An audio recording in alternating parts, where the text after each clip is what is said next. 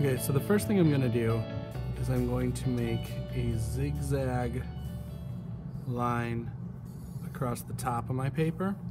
I'm going to draw vertical lines, vertical line segments going down from each of the points. And I'm going to draw parallel zigzag line. So it's to, each of these line segments will be parallel to the one above it.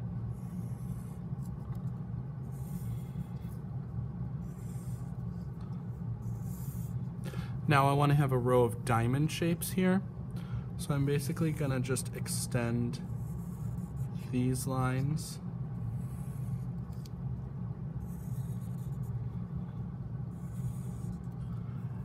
Next I'm going to draw more vertical line segments.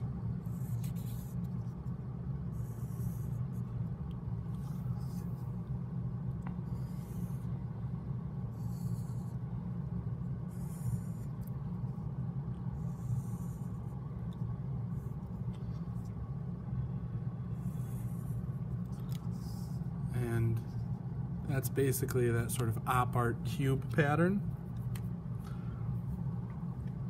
The next thing I'm going to do is make a recognizable silhouette inside of here.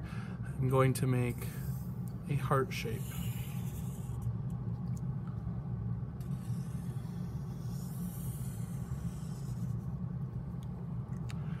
I'm going to color outside of the heart shape with one color scheme and inside of the heart shape with another to create contrast and make the design stand out.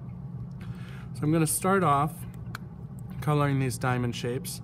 As usual with my markers, I'm going to start by outlining the shape. And then I make nice neat rows holding my marker at an angle so I'm using the wide edge of the marker just slowly working my way across to color the entire shape nice and solidly. I don't want to hold my marker perpendicular to the paper. I want to keep it at about a 45 degree angle, so I'm using the wide edge of the marker. Um, I don't want to have it like this and get those thin lines to color it in. I want to use the wide edge to color it nice and solid.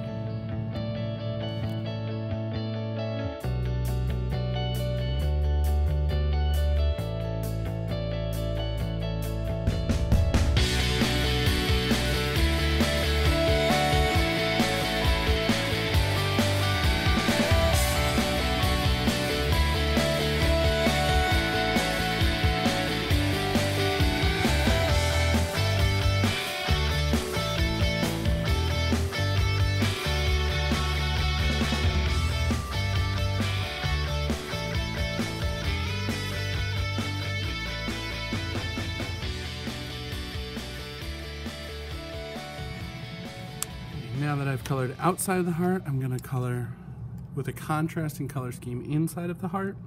Some people find it helpful to start off by just marking each shape that they're going to color with one color. So I know every shape that has this sort of raspberry colored line in it is going to be this color. Every shape that has a red vertical line in it is going to be red. And every shape that has a pink line in it is going to be pink. That can help to keep you organized so you don't get mixed up with the pattern and then go back, outline the shape, and color it in solid.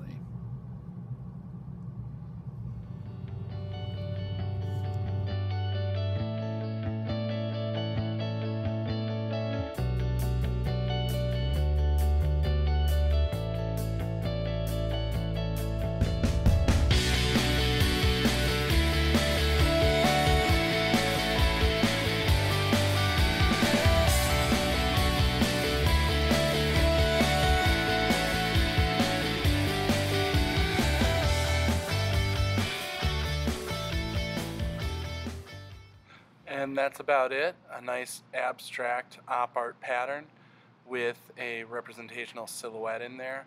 Of course, remember this whole project could be done with something other than a heart. It could be a star, flower, any sorts of shapes and designs that you want.